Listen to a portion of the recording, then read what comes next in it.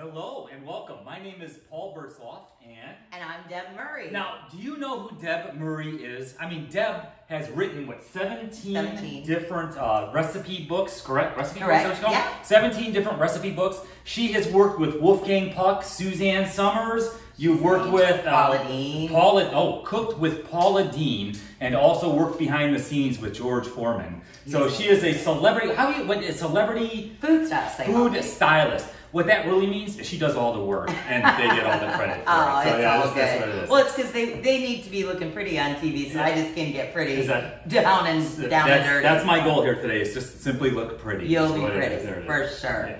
Well, Pastor, I'm really honored. You know, Pastor's been my pastor for what two decades now. I mean, you've been there for me some of the the toughest moments of my life. But the one thing we always laughed and talked about is like we always wanted to do a, a cooking video together because we both love to cook and we both have a a, a connection that food. Yeah. What what is what you were telling me the that I know why I want to cook. I want to share my love for that person through cooking. But cooking is also another connection. Yeah. You know, so what we're trying to do here is it's called the whole loaf. You know, we call it the whole enchilada. And I, I guess the, the whole idea behind this is we want you to be strong. Okay? We want you to be strong and healthy when it comes to eating and eating habits. We want you to be strong and healthy when it comes to your spiritual health, to your relationship health, to your emotional health. And so we're going to try to mix all of that together. So this is kind of a holistic kind of approach. We're going to cook some healthy meals, but we're also going to weave in some scripture and some, I guess, some sound counseling advice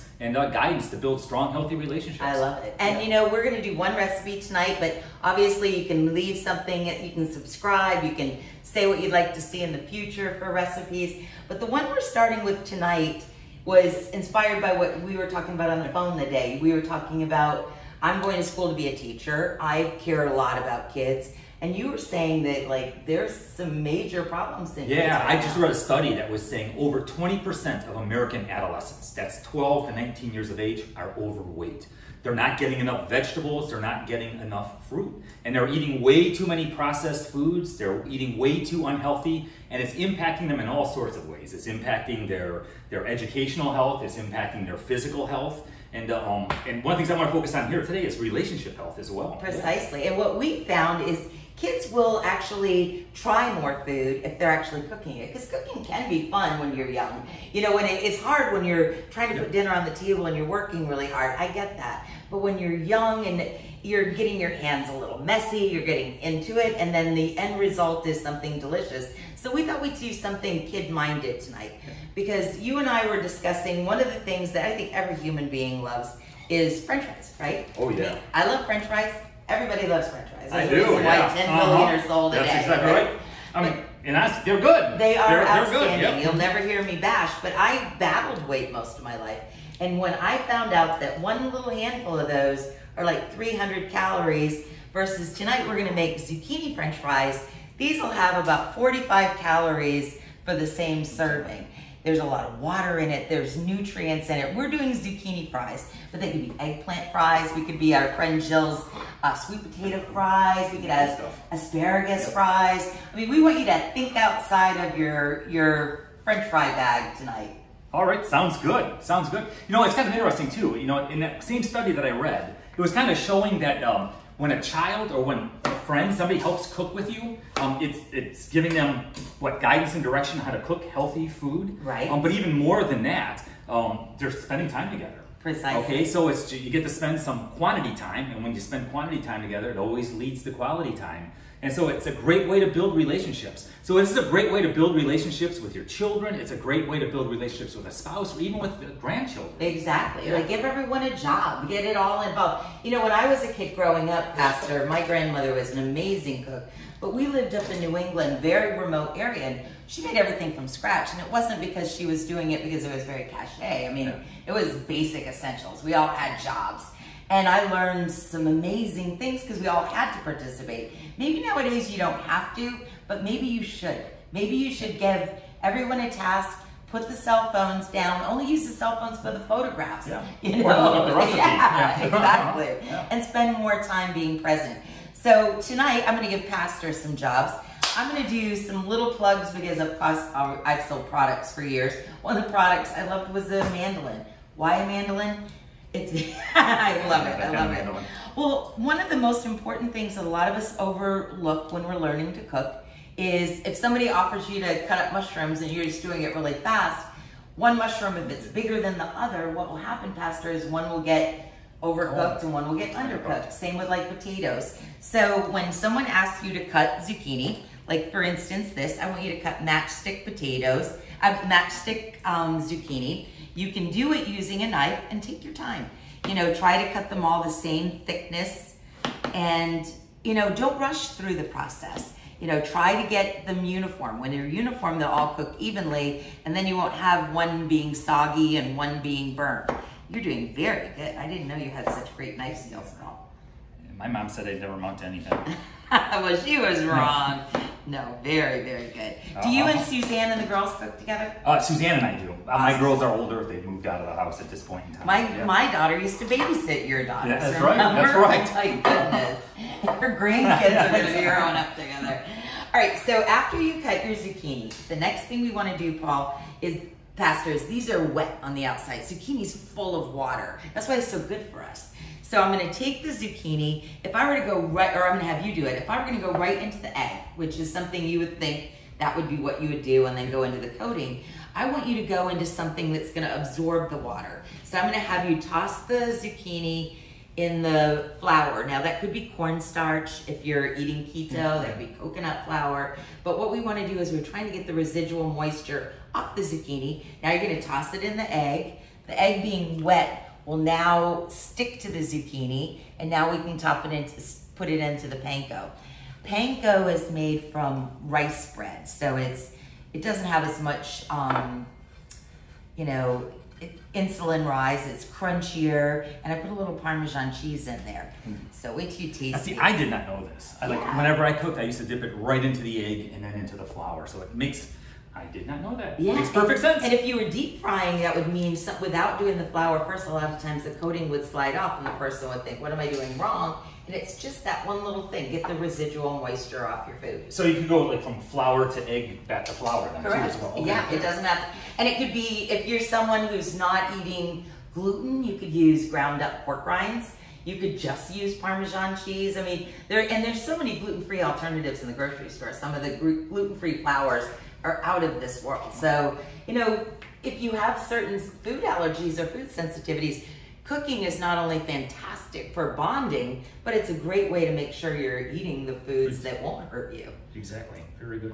You know, it's like too. It's, it's stuff like this is I've never done this before. So like Deb and, And I have never you. we have never cooked before. I would have never thought of doing this. In all honesty. I love that. And so I would have went to McDonald's, but I would have never thought of doing this. And so it's like it's actually like it's fun. You, it's, you're having a good time. You're learning a new skill. I'm learning stuff about you know vegetable moisture and that kind of stuff, which I never which I never knew. But like once again, it's you're learning skills, you're learning information, and it's giving an opportunity just for the two of you to talk, or for who's ever in the kitchen uh, to talk, and creates those talking points. Exactly. So I mean, yeah, you can start talking about food, but you can very quickly change that conversation from food into, hey, how was your day going today?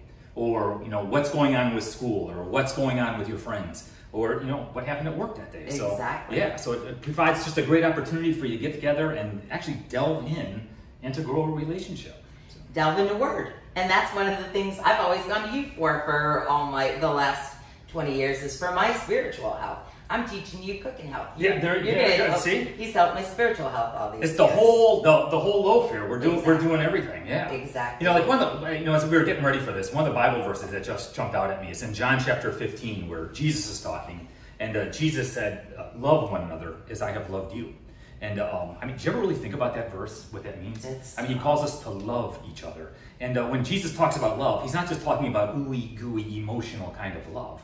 Um, in the Bible, love is a verb. Love is an action. Love is something that you do. And I mean, he did. He loved us emotionally, but he loved us. He loved us unconditionally. He gave his all for us. I mean, to die upon a cross, to- to pay the debt of our sin. And so when Jesus says that we're called to love each other, to love one another as he loved us, that means we're we should be willing to give our all for each other. And, and oftentimes, one of the ways, especially in our culture, I mean, we are so busy. One of the ways in our culture that you can spell love is T-I-M-E, right? It's just simply Excellent. spending time with people. And uh, so once again, just a great opportunity for you to spend some time with family members, with the people that you love. And right now, with what all that's going on in the world, sometimes it's a little hard to find the right groceries in the grocery store. You're stuck. You know, what we're thinking about is if we're watching these videos, maybe we can learn to cook whatever's available in the grocery. Maybe the stuff in the grocery, maybe you're used to cooking with hamburger and hamburger's now $7 a pound. So what do we do? Let's you we can make vegetable burgers. I mean, when my grandmother was growing up and when she was preparing for us, they had to cook what was in season. So maybe this is some of the things that you can learn from this is spiritual growth. You'll learn, you know, good thought process, but also how to think outside of the normal grocery routine, the Yeah. normal cooking Yeah, routine. exactly. Expand yourself. Yeah. And and you're eating healthier. You know, it's kind of interesting. Um, uh, adolescents report like when they cook with their parents or when they cook with a grandparent, and they get to spend that quality time together.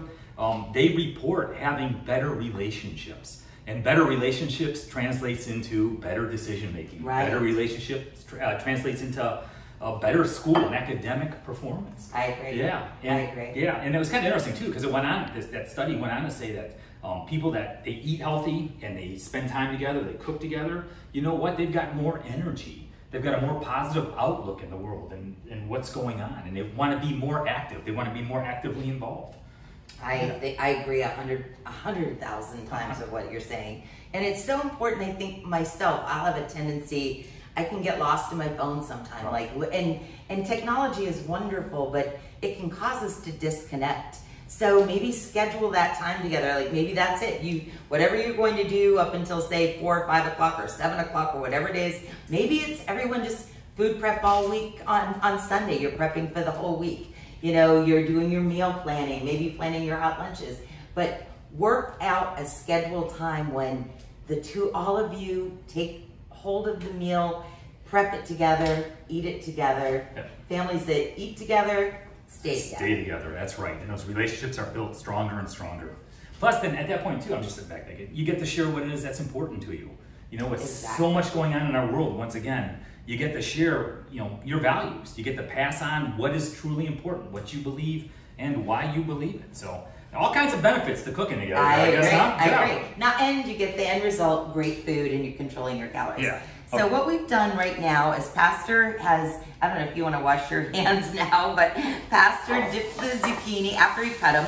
Dipped them in the zucchini. Then we dipped them in beaten eggs with water. We'll post the recipe for you. We rolled it in panko and Parmesan cheese. We placed it on parchment paper. Now, Pastor said, you know, he wouldn't necessarily go out and buy parchment paper. I'm a little lazier. I try to not have to do dishes, so this will allow me to not have to wash this pan, but you can just spray nonstick on it. So now instead of deep frying these, Pastor, we're going to spray them with oil. If you spray something with oil before it goes into the oven, you know it promotes browning and it'll also cause it to crisp more. Mm-hmm. And uh, so we're gonna get more of a deep fried flavor without adding the deep fried calories. So I'm gonna pop these in a 400 degree oven. I've got some ready for you to to try, see what you right. think. You know, in all honesty, I've already been picking at them. So when they came out of the oven, I dipped into them immediately. They are absolutely fantastic. I mean, they really and truly are. Aren't they crunchy? I won't lie to you. They're country, country, they're country,